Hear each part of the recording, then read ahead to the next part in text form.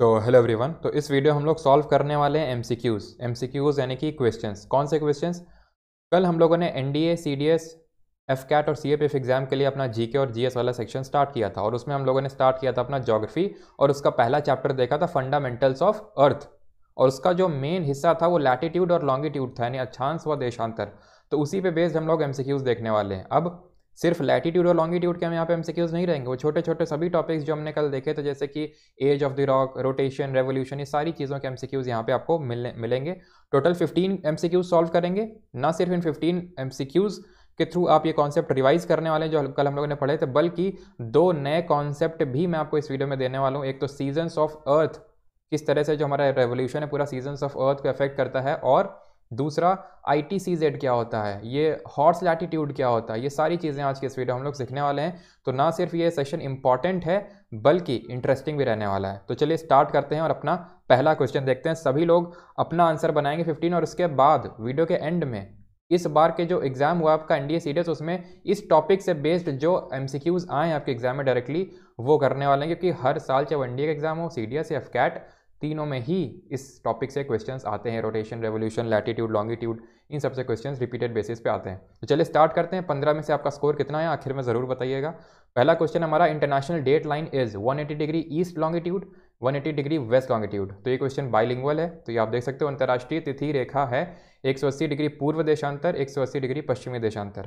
केवल एक सही है, केवल दो, दोनों या फिर नीदर वन नॉट टू सही आंसर इसका है ऑप्शन नंबर सी क्योंकि देखो कल मैंने आपको बताया था ये हमारा ग्लोब है ठीक है? और इसमें मैंने आपको बताया था ये है ज़ीरो डिग्री लॉन्गिट्यूड यहाँ से आप जाओगे हमने जब ये देखा था ये जाना था कि टोटल नंबर ऑफ़ लॉन्गिट्यूड कितने हैं तो मैं मैंने आपको बोला था ना यहाँ से जाओ 180 डिग्री के पास पीछे एकदम जाओ तो तुम्हें 180 सौ यहाँ पे लॉन्गिट्यूड मिलेंगे।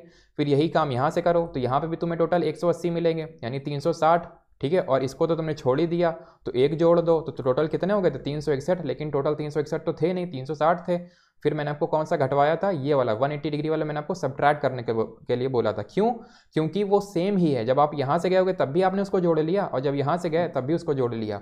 ये उसकी तरह नहीं है लॉन्ग लैटीट्यूड की तरह कि 90 डिग्री नॉर्थ जो लैटीट्यूड है वो अलग है और 90 डिग्री साउथ अलग है। ये सेम ही है 180 डिग्री। क्या तुम 180 डिग्री से ज़ीरो की तरफ़ आओगे? इधर से और उधर से तो भी ज़ीरो डिग्री एक सेम लाइन है। वैसे 180 डिग्री भी सेम लाइन है। चाहे वो ईस्ट बोलो चाहे वेस्ट इसी वजह से ऑप्शन नंबर सी सही आंसर होगा बोथ वन एंड टू अगला है if the local time at Patna located at 85 degree longitude बहुत अच्छा क्वेश्चन इस तरह के क्वेश्चंस यूपीएससी को पूछने में बड़ा मज़ा आता है। डायरेक्टली वो आपसे नहीं पूछेगा कि यहाँ का जो लॉन्गिट्यूड है है 80 डिग्री है और यहाँ का 85 डिग्री बता दो टाइम कितना होगा यहाँ पे। क्वेश्चन वही है, लेकिन थोड़ा घुमा फिरा के आपसे पूछता है, ठीक है? ताकि क्वेश्चन करने में थोड़ा प्रॉब्लम आए। Located at 85 degree east longitude is 10 hour then what will be the local time at chennai located at 80 degree east longitude and jodhpur located at 73 east longitude question Hindi में भी दिया हुआ है Hindi medium वाले students पढ़ सकते हैं अब बताइए क्वेश्चन सिंपल लैंग्वेज में ये है कि पटना जो लॉन्गिट्यूड 85 डिग्री ईस्ट में लोकेटेड है 10 बज रहा है तो चेन्नई, जो कि 80 डिग्री इस लॉन्गिट्यूड में वहाँ कितना बजेगा और जोधपुर, जो कि तिहत्तर डिग्री इस लॉन्गिट्यूड में वहाँ कितना बजेगा ये आपको बताना है। तो सिंपल क्या करना होता है हमें पहले? लॉन्गिट्यूड का डिफरेंस निकाल निकाल लेना होता है। पचासी और अस्सी में कितना डिफरेंस है? पाँच डिग्री। एक डिग्री बराबर कितना होता है? मैंने कितना बताया था? चार मिनट। ठीक है? पूरा समझा के आपको। तो पाँच डिग्री बराबर इंटू फोर कर देंगे, बीस मिनट। ठीक है? और ये सब तो छोड़ ही दो। ये सब तो बात की बात है। अगर तुम ऑप्शन को भी ध्यान से देखोगे तो ये मैंने आपको बताया था कि अगर ये हमारा ज़ीरो डिग्री वाली लाइन है, ये ज़ीरो डिग्री वाली लाइन है, और अगर आप इसके इधर जाते हो, इधर इस साइड जाते हो राइट साइड में तो आपका टाइम बढ़ता है, जुड़ता है, और अगर आप इस साइड आते हो तो टाइम घटता है, ठीक है? तो अगर हम 85 से 80 की तरफ़ जा रहे हैं तो टाइम बढ़े, हमें ऐड करना होगा कि घटाना होगा? हमें टाइम घटाना होगा, क्योंकि हम इस साइड आ रहे हैं, ठीक है? इस साइड जा रहे हैं तो इस वजह से टाइम घटाना होगा। तो 10 से तो कम ही होगा ना टाइम चेन्नई में? तो ये तो ऑप्शन हो ही नहीं सकता ना, दस चालीस और दस बारह, ये तो ऐसे ही हट गए यहाँ पे, ठीक है? अब चलो हम निकाल लेते हैं चेन्नई का कितना तो चेन्नई बीस मिनट कितना होगा? पीछे होगा। क्यों पीछे होगा ये मैंने आपको बता दिया, क्योंकि अगर पटना से कंपेयर करें तो पटना के कंपैरिजन में वो वेस्ट साइड में लोकेटेड है लेफ़्ट साइड में इस वजह से हम उसको सब्ट्रैक्ट करना पड़ेगा। जब 10 में 20 सब्ट्रैक्ट करोगे तो नौ बज के चालीस मिनट आएगा, ठीक है? अब हमें बाकी जो जोधपुर है उसका निकालने की ज़रूरत ही नहीं है, क्योंकि हमारा ऑप्शन नंबर बी ही सही होगा। ठीक है सिंपल ऑप्शन एलिमिनेट करके हमने निकाल लिया, लेकिन अभी तो हम पेपर तो अटैम्प्ट कर नहीं रहे हैं, अभी तो हम सीख रहे हैं चीज़ों को तो चलो जोधपुर का भी निकाल लेते हैं। तो जल्दी से इसको सब्ट्रैक्ट कर दो 85 में हम 73 को सब्ट्रैक्ट करो, कितना आएगा? 12 आएगा 12 डिग्री फिर इंटू फोर कर दो, क्योंकि एक डिग्री बराबर चार मिनट होता है, नहीं forty eight minute forty eight minute add करेंगे सब करेंगे, फिर इससे सब करेंगे। क्यों? क्योंकि एट्टी फाइव डिग्री कहाँ, यहीं, यहाँ पे होगा, और हमारा जो सेवेंटी थ्री डिग्री है, वो कहाँ, कहीं यहाँ पे होगा तो हमें ऐसे चलना पड़ रहा है तो हम सब करेंगे। तो जब सब करोगे तो नौ बज के बारह मिनट आएगा ये, ठीक है तो ऑप्शन नंबर बी सही आंसर होगा। समझ गए? अगला question the longitude of mainland of India extends between Bharat की मुख्य भूमि का देशांतर डैश के बीच फैला हुआ है। 68 डिग्री सेवन मिनट अब ऑप्शन देख लो, मैं सारे ऑप्शन बार बार डिग्री मिनट डिग्री मिनट नहीं करने वाला हूँ यहाँ पे। इसका, देखो, पहले तो पहले तो कॉमन सेंस का यूज़ करो। क्या कॉमन सेंस कहता है? कि जो हमारे लॉन्गिट्यूड होते हैं, उनको हम ईस्ट और वेस्ट से रिप्रेजेंट करते हैं, ना कि नॉर्थ और साउथ से। नॉर्थ और साउथ से तो हम लैटिट्यूड्स अक्षांश को रिप्रेजेंट करते हैं।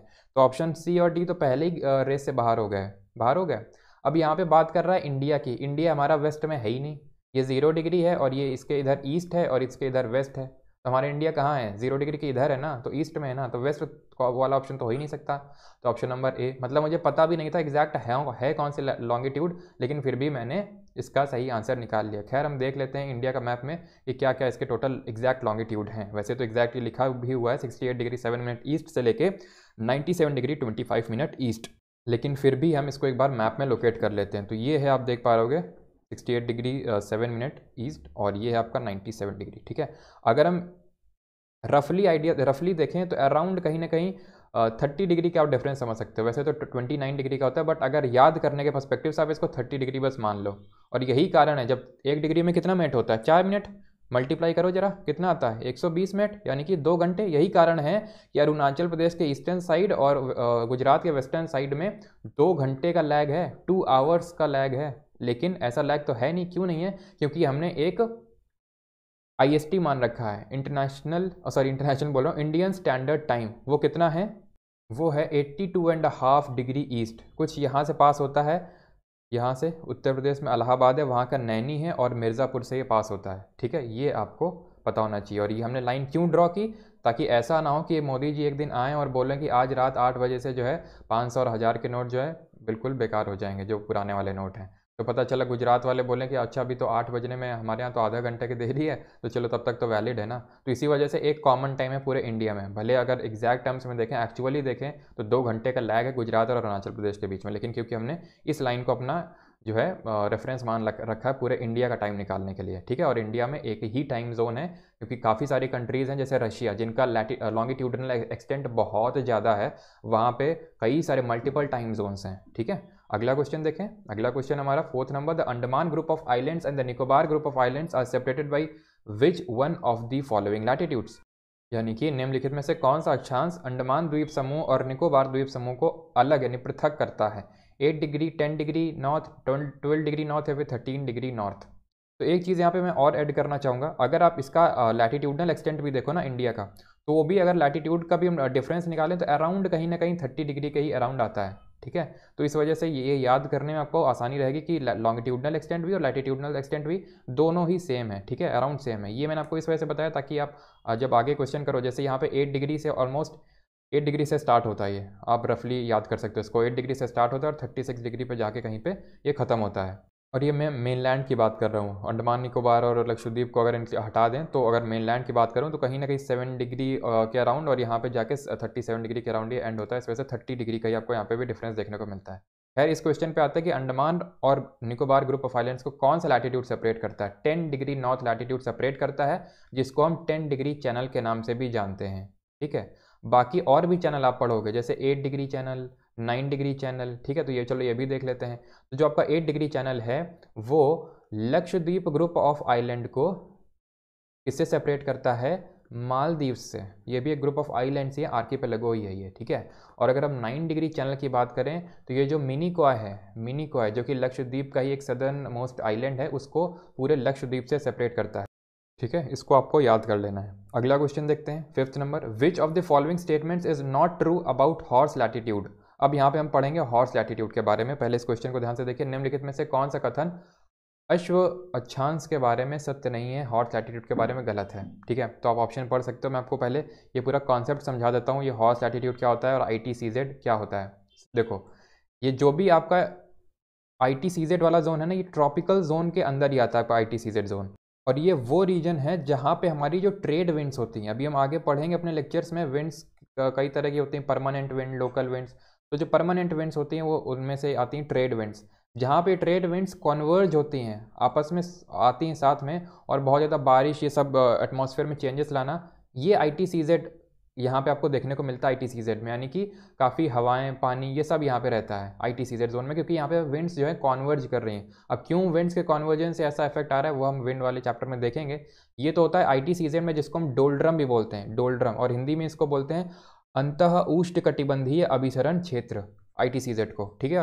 हॉर्स लैटिट्यूड वो सब ट्रॉपिकल रीजन है। अब सब ट्रॉपिकल रीजन टेम्परेट रीजन में आता है तो ज़ाहिर सी बात है यहाँ पे प्रेशर कैसा होगा? हाई ये ध्यान रखना, जहाँ पे गर्मी होती है, वहाँ पे प्रेशर लो होता है, जहाँ पे ठंडक होती है, वहाँ पे प्रेशर हाई होता है, बस, ठीक? तो यहाँ पे क्या क्या होगा? इस वाले लैटिट्यूड में अपर लैटिट्यूड में हायर लैटिट्यूड में कैसा होगा प्रेशर हाई होगा क्यों क्योंकि यहाँ पे ठंडक रहती है। तो ऐसे लैटीट्यूड्स को बोलते हैं हॉर्स लैटिट्यूड अब क्योंकि ऐसे लैटीट्यूड में जो विंड्स है, वो डाइवर्ज होती है तो इस वजह से यहाँ पे अब हॉर्स लैटीट्यूड बोलते क्यों है, ये भी बड़ा इंटरेस्टिंग फैक्ट है।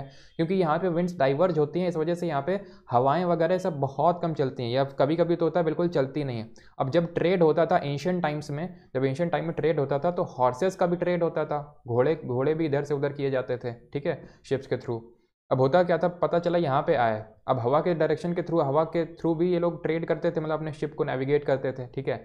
तब हवा चल नहीं रही यहीं पे खड़े हैं। बहुत दिन से कुछ खाना पानी कुछ मिल ही नहीं रहा है ठीक है?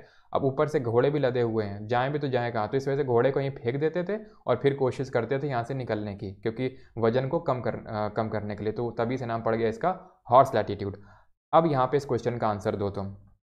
क्या इसका सही आंसर होगा? तो इसका पहले तो ध्यान से देख लेना, ये नॉट लगा है।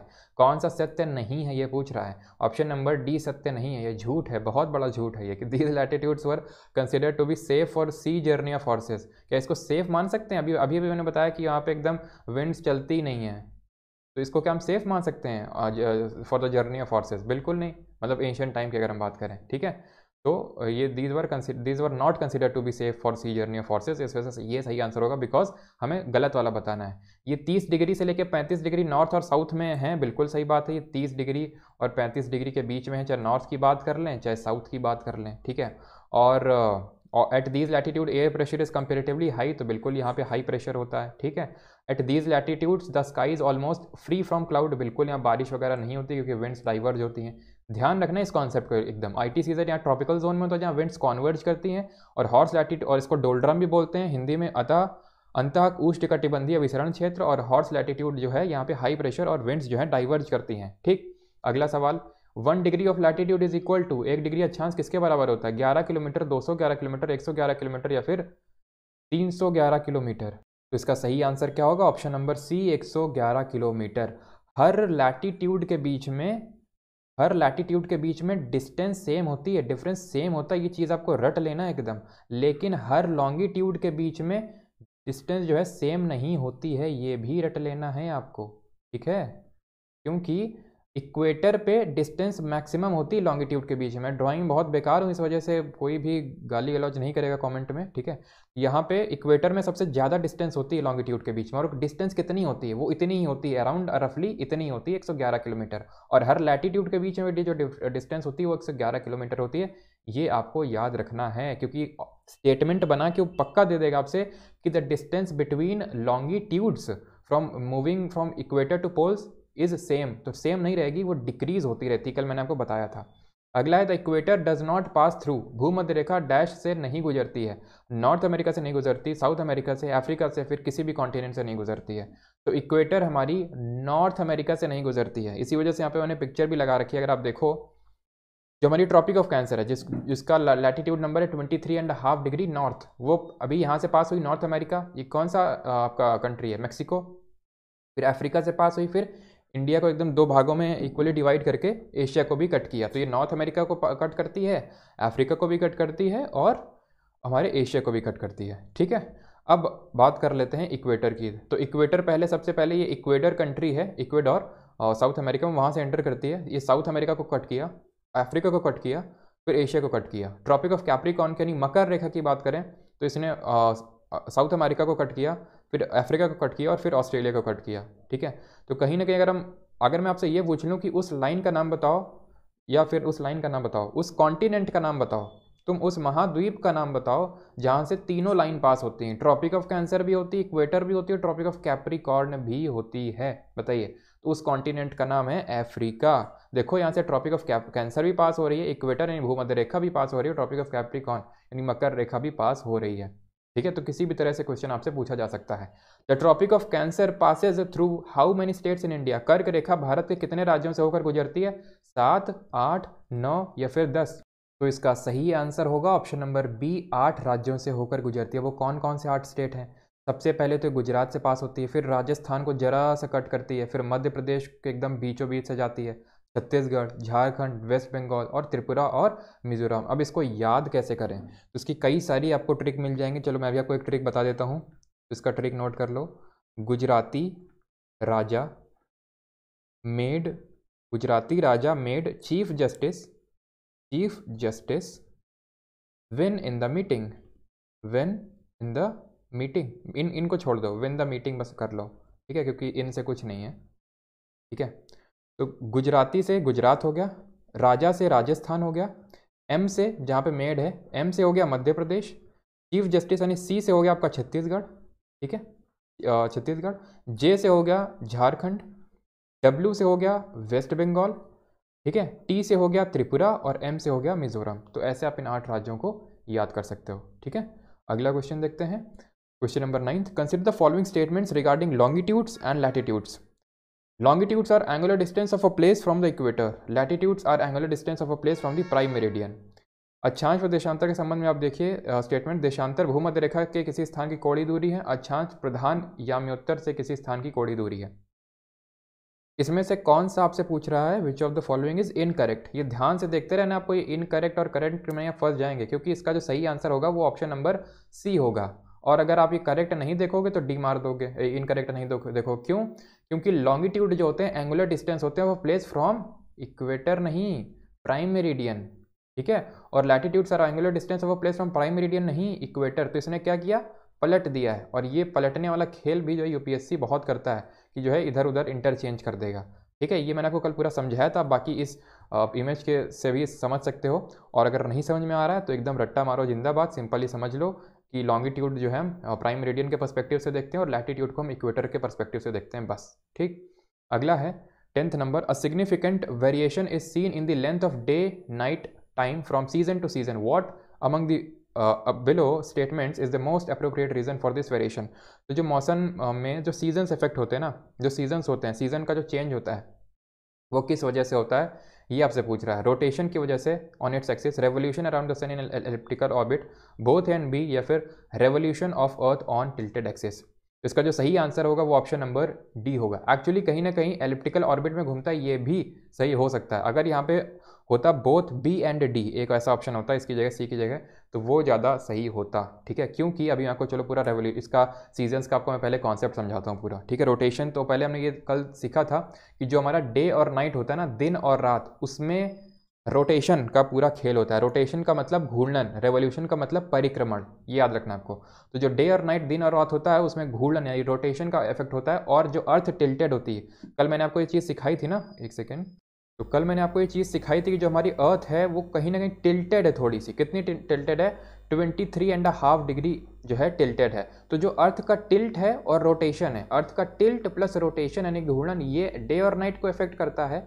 और जो अर्थ का टिल्ट है और रेवोल्यूशन यानी कि परिक्रमण वो हमारा सीजन्स को इफ़ेक्ट करता है। कई बार यूपीएससी एग्ज़ाम में इस पर क्वेश्चन आ चुका है, ठीक है? क्योंकि हमारी अर्थ टिल्टेड है, ठीक है? अर्थ टिल्टेड है तो अभी 21 जून वाली कंडीशन में इसका जो नॉर्दर्न हेमिस्फेयर है, वो सन की तरफ़ फेस कर रहा होगा, ठीक है? और इसकी जो सन की रेज हैं, वो डायरेक्टली ट्रॉपिक ऑफ़ कैंसर पर हिट कर रही होंगी। यानी जो कर्क रेखा है, उस पर हिट कर रही होंगी, जो कि हमारे इंडिया के बीचों बीच से पास होती है। और मैंने आपको बताया था कि जो हमारा सन है, वो सिर्फ़ ट्रॉपिक ऑफ़ कैंसर और ट्रॉपिक ऑफ़ कैप्रिकॉर्न के बीच में ही मूव करता है। ठीक है? और वो वो नहीं मूव करता, हमारी अर्थ एक्चुअली मूव करती है तो जो ओरिएंटेशन बनता है, वो इस हिसाब से बनता है कि ट्रॉपिक ऑफ़ कैंसर और ट्रॉपिक ऑफ़ कैप्रिकॉर्न के बीच में ही डायरेक्ट सन की जो रेज हैं, वो पड़ती हैं। उसके बियॉन्ड जो है ट्रॉपिक ऑफ़ कैंसर के ऊपर ट्रॉपिक ऑफ़ कैप्रिकॉर्न के नीचे डायरेक्ट रेज नहीं पड़ती, फिर स्लैंटिंग रेज पड़ती हैं। और ये जिस दिन ट्रॉपिक ऑफ़ कैंसर पे एकदम डायरेक्ट रेस पड़ती हैं, वो दिन होता है 21 जून, उसको बोलते हैं समर सॉलिस्टिस क्योंकि उस दिन नॉर्दर्न हेमिस्फीयर में सबसे बड़ा दिन होता है लॉन्गेस्ट डे होता है। ठीक है? और इसका उल्टा इसी दिन यहाँ पे होता है। इस दिन सदर्न हेमिस्फीयर में। यहाँ से मेरा मतलब है सदर्न हेमिस्फीयर में यहाँ पे 21 जून को शॉर्टेस्ट डे होता है। और 21 जून को हम क्या मनाते हैं? योगा डे मनाते हैं। ठीक? अब इस वाले इसमें एंगल में आ जाओ। ठीक है? अब यहाँ से ये इर्स ओरिएंटेशन से इर्स ओरिएंटेशन में जाने में ये दो ओरिएंटेशन बीच में आएँगे। जब ऐसे इस ओरिएंटेशन से इस ओरिएंटेशन पर जाएगा तो ये वाला आएगा। जब इस ओरिएंटेशन से इस ओरिएंटेशन पे अर्थ जाएगा तो ये वाला आएगा। और ये दोनों जो सामने आपको दो केसेस दिख रहे हैं, ये वो वाले केसेस हैं जहाँ पे डे और नाइट इक्वल होते हैं, ठीक है? पूरे अर्थ में। इस 21 जून को नॉर्दर्न हेमिस्फेयर में सब, सबसे बड़ा दिन होता है और यहाँ पे छोटा दिन होता है। और 21 या फिर 22 दिसंबर को सदर्न हेमिस्फेयर में सबसे बड़ा दिन होता है और हमारे यहाँ सबसे, यानी हमारे यहाँ से मेरा मतलब है नॉर्दर्न हेमिस्फेयर क्योंकि जो हमारा इंडिया वो नॉर्दर्न हेमिस्फेयर में ही है, सबसे छोटा दिन होता है। तो ये याद रखना, इक्कीस जून को हम समर सोलिस्टिस बोलते हैं और बाईस दिसंबर को हम विंटर सोलिस्टिस बोलते हैं, ठीक? और यहाँ पे जो दो कंडीशंस जहाँ पे डे और नाइट इक्वल होते हैं, उनको हम इक्वी बोलते हैं। क्या बोलते हैं? इक्वी क्यों? क्योंकि इस दिन दिन और रात इक्वल होते हैं। और ये तारीख क्या है? सितंबर तेईस और इक्कीस मार्च। तेईस सितंबर को बोलते हैं ऑटम इक्विनॉक्स और ये जो स्प्रिंग स्प्रिंग को हिंदी में आई थिंक बोलते हैं शरद ऋतु। ठीक है? इसको ऑटम को बोलते हैं, वसंत ऋतु और स्प्रिंग को बोलते हैं शरद ऋतु। तो ये तारीख है 21 मार्च की। उम्मीद करता हूँ आप समझ गए होगे कि जो सीज़न का इफ़ेक्ट क्या चीज़ कर रहा है। अर्थ का रेवोल्यूशन अराउंड इट्स ऑर्बिट कर रहा है प्लस वो जो टिल्टेड है अपनी एक्सिस पे, वो चीज़ जो है इफ़ेक्ट कर रहा है सीजन्स को। ठीक है? तो इसका आंसर उम्मीद करता हूँ आप समझ गए होगे। अगला क्वेश्चन देखते हैं। कुछ भी किसी को प्रॉब्लम होता है, आप कमेंट में लिख देना, मैं पूरा डाउट अगले वीडियोस में क्लियर कर दूँगा, ठीक है? Consider the following statement regarding equator equator के रिगार्डिंग भूमध्य रेखा के रिगार्डिंग यहाँ पे स्टेटमेंट देखो। पहला statement equator is the largest latitude of earth dividing earth into two equal half equator जो है, पृथ्वी का सबसे बड़ा लैटिट्यूड है, जो कि दो बराबर भागों में अर्थ को काटता है। बिल्कुल सही है? सबसे अगर, सबसे बड़ा लैटिट्यूड कल मैंने समझाया था ना, सबसे बड़ा अगर धागा बांधो किसी बॉल पे तो आपको एकदम सेंटर पे बांधना पड़ेगा। ठीक है? और इक्वेटर हमारा एकदम सेंटर ऑफ़ अर्थ से गुजरता है। तो ऑप्शन ये पहला स्टेटमेंट तो सही हुआ। The equator is the only line of latitude which is also a great circle और ये कल मैंने शायद नहीं आपको बताया होगा, लेकिन आज आपको बता रहा हूँ। ग्रेट सर्कल भी बोलते हैं इसको। ग्रेट सर्कल क्योंकि सबसे बड़ा सर्कल होता है पूरी अर्थ में, अगर लैटिट्यूड की बात करें। कहीं खिंचा नहीं हुआ है इमेजिनरी लाइन से साइड सी बात है। ठीक है? तो ये सेकंड भी सही हुआ।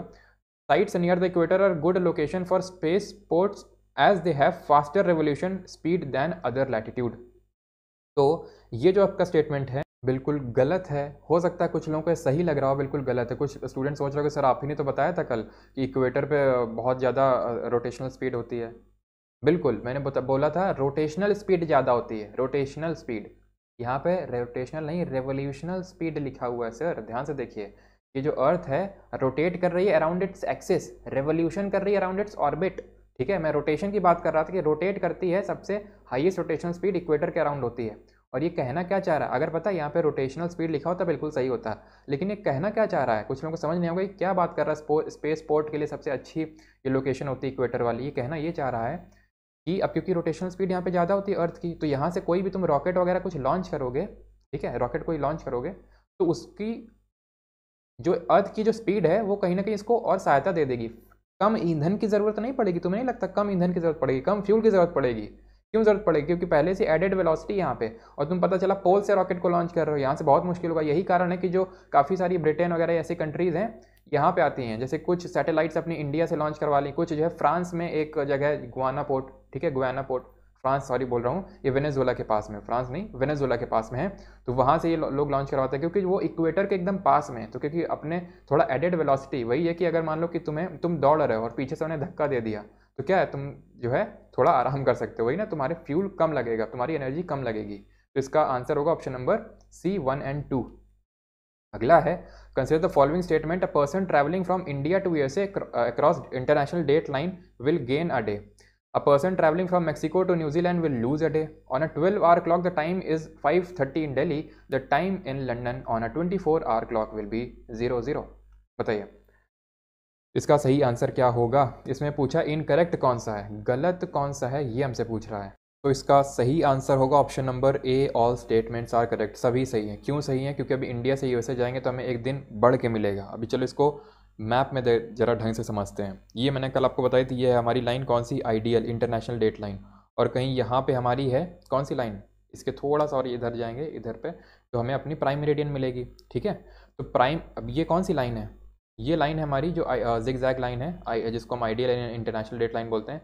180 डिग्री चाहे ईस्ट बोलो, चाहे वेस्ट बोलो, ये 180 डिग्री लाइन है। ये है ज़ीरो डिग्री तो अगर ज़ीरो डिग्री से यहाँ कंपेयर करें तो चलो मान लेते हैं ये जो प्राइम मेरिडियन है यहाँ पे एक जनवरी हो रहा है, ठीक है? एक जनवरी रात के बारह बजे ट्वेल्व ए एम रात के बारह बजे, ठीक है? अब ज़ीरो डिग्री से और 180 डिग्री तक अगर हम डिफरेंस कैलकुलेट करें तो कितना? 180 डिग्री का डिफरेंस है। और अगर हम टाइम की बात करें तो 12 घंटे का डिफरेंस निकल के आ जाएगा। अगर आप कैलकुलेट करोगे तो 12 घंटे निकल के आएगा। यानी कि इधर हम आएँगे तो प्लस 12 आवर्स हमें करना पड़ेगा, ठीक है? अब ये तो हमने कर लिया इसके ईस्टर्न साइड में। इसके वेस्टर्न साइड में चलो चलते हैं। जब इधर जाएँगे तो घूम के इधर से आ जाएँगे। इधर देखना जरा। इधर से नहीं आ जाएँगे घूम के, क्योंकि धरती तो गोल है। तो उधर से अगर हम जाएँगे तो यहाँ पर आ जाएँगे। और जब यहाँ से हम कैलकुलेट करेंगे उधर जाके तो यहाँ में बारह घंटे माइनस करना पड़ेगा। समझ पा रहे हो ना? जब हम इधर जाते हैं प्राइम मेरिडियन के तो हम टाइम को ऐड करते हैं ईस्टर्न साइड में जाते हैं वेस्टर्न साइड में जाते हैं। अभी मैं आपको बताया था तो टाइम को सब्ट्रैक्ट करते हैं। तो जब यहाँ आएँगे तो सब्ट्रैक्ट करेंगे तो माइनस ट्वेल्व आर तो अगर यहाँ पर प्राइम मेरिडियन पर एक जनवरी रात के बारह बज रहे होंगे तो यहाँ पे, यहाँ पर अगर हम यहाँ से चलते हैं तो कितना बज रहा होगा? ये बज रहा होगा आपका एक जनवरी दोपहर का बारह बजे। ट्वेल्व पी एम एक जनवरी दोपहर का बारह बजे। और अगर हम यहाँ पे देखें, इस साइड में तो कितना बज रहा होगा? यहाँ पे बज रहा होगा आपका अराउंड इकतीस दिसंबर, रात का, है ना? रात रात का नहीं, सॉरी, यहाँ पे दोपहर का इकतीस दिसंबर बज रहा होगा, ट्वेल्व पी हो रहा होगा, ठीक है? इकतीस दिसंबर रात का। तो यहाँ हो रहा है एक जनवरी, दोपहर का बारह बजे, और यहाँ पे हो रहा है, ठीक है? तो यहाँ पे बज रहा है एक जनवरी दोपहर का बारह बजे, और यहाँ पे हो रहा है इकतीस दिसंबर, दोपहर का बारह बजे। कितना कितना डिफरेंस है? तो पूरा का पूरा एक दिन का डिफरेंस है वन डे का। तो यानी कि आप यहाँ से यहाँ जाओगे तो आपका एक दिन बढ़ के मिलेगा, आपको एक्स्ट्रा मिल जाएगा फिर कम मिलेगा? आपको बढ़ के मिलेगा एक्स्ट्रा मिलेगा you will gain a day ठीक है, और इसका उल्टा लूज अ डे क्यों गेन अ डे सीधे देखो ना, यहाँ पे एक जनवरी तुम रह चुके हो, ठीक है? एक जनवरी सब कुछ रह के अब यहाँ तुम इस लाइन को उधर चले गए, फिर तुम इकतीस दिसंबर में पहुँच गए। तुम्हें एक जनवरी फिर फिर से मिलेगी, तुम्हें फिर से न्यू ईयर सेलिब्रेट करने को मिलेगा। तो ये है पूरा इसमें खेल और यहाँ से जब आप यहाँ होगे तो you will lose a day अब यहाँ पे बात कर रहा है कि आप कहाँ से जा रहे हो? इंडिया से यूएसए तो इंडिया से यूएसए जा रहे हो, ठीक है? तो you will gain a day ठीक है? तो इस वजह से ये भी सही हुआ। A person travelling from Mexico to New Zealand तो मैक्सिको ये है आपका। मैक्सिको टू न्यूजीलैंड अगर आ रहा है तो he will lose a day उल्टा हो जाएगा। तो ये भी बिल्कुल सही है। और हमने कल देखा था कि इंडिया और जो प्राइम मेरिडियन है, उसके बीच में साढ़े पाँच घंटे का अंतर है और साढ़े पाँच घंटे हम लोग आगे हैं, ठीक है? तो इस वजह से तीनों ऑप्शन यहाँ पे सही हो जाएँगे। हमारा अगला क्वेश्चन है what is the approximate time lag in hours from Gujarat to Arunachal Pradesh Gujarat से अरुणाचल प्रदेश तक अनुमानित समय अंतराल घंटों में क्या है? एक घंटा, डेढ़ घंटा, दो घंटा या फिर ढाई घंटा? तो अभी अभी मैंने आपको ये चीज़ समझाई थी पूरी कि जो अगर लॉन्गिट्यूड का डिफरेंस निकालें 68 डिग्री और 97 डिग्री वो सब तो टोटल दो घंटे का टाइम लैग निकल के सामने आता है। लेकिन हमारा जो आई एस टी है इंडियन स्टैंडर्ड टाइम वो eighty two and half degree east में है। In which among the following state does tropic of cancer and standard time meridian meet निम्नलिखित में से किस राज्य में कर्क रेखा और भारत के मानक समय मेरिडियन मिलते हैं? मध्य प्रदेश में छत्तीसगढ़ में उड़ीसा में या फिर झारखंड में? तो इसका सही answer option number B Chhattisgarh में अगर हम इंडिया के मैप को अगर आप ध्यान से देखो, ये देखो मैं कितना ब्यूटीफुल से इंडिया का मैप बना रहा हूँ। तो यहाँ पे आपकी कहीं आईएसटी है, ठीक है इंडिया स्टैंडर्ड टाइम और यहाँ से आपका कुछ पास होता है जो आपका ट्रॉपिक ऑफ़ कैंसर है। और ये मिलते हैं छत्तीसगढ़। छत्तीसगढ़ का एक कोरिया डिस्ट्रिक्ट है, बैकुंठपुर में, Korea district in Baikunthpur, Chhattisgarh. वहाँ पर यह मिलती है, ठीक है? तो ऑप्शन नंबर बी इसका सही आंसर होगा, ठीक? अगला क्वेश्चन देखते हैं। अब अगला क्वेश्चन है हमारा, दो क्वेश्चन है जो कि हमारे प्रीवियस ईयर, इस बार के आपके सी डी एस एग्ज़ाम में पूछे गए थे क्वेश्चन। अब जरा इनको अटैम्प्ट कर लो और फिर टोटल आप सिक्सटीन, फोर्टीन देख लिए और दो ये, फिर सिक्सटीन में अपना स्कोर बताना।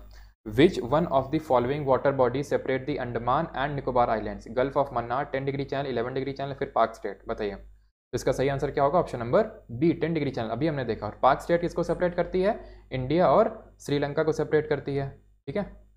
अगला है हमारा which one of the following longitudes is the standard meridian of India 83 degree 30 minutes east 82 degree 30 minute east 82 degree 30 minute west या फिर 83 डिग्री 30 मिनट वेस्ट तो वेस्ट तो हो ही नहीं सकता ना इंडिया तो ईस्ट ईस्टर्न लॉन्गिट्यूड में ईस्टर्न हेमिस्फेयर में, ठीक है? तो इस वजह से इसका सही answer eighty degree thirty minutes east होगा। ये दोनों क्वेश्चन इस बार के आपके सीरियस एग्ज़ाम में आए तो आप देख सकते हो कितने हल्के से क्वेश्चन हैं। भारी क्वेश्चन भी करेंगे जो थोड़ा हार्ड क्वेश्चन होंगे।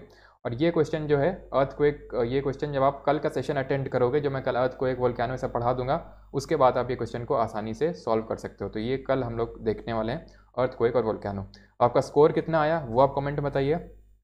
वीडियो पसंद आया तो लाइक ज़रूर कीजिए और चैनल को सब्सक्राइब करके नोटिफिकेशन बिल को ज़रूर प्रेस कर लीजिए ताकि आपको नोटिफिकेशन मिलते रहे। और टेलीग्राम चैनल का लिंक मैं डिस्क्रिप्शन में डाल दूँगा तो उसको ज्वाइन कर ज्वाइन कर लेना। वहाँ पर आपको सारे पीडीएफ जो हैं, वहाँ पर आपको मिल जाएँगे। धन्यवाद।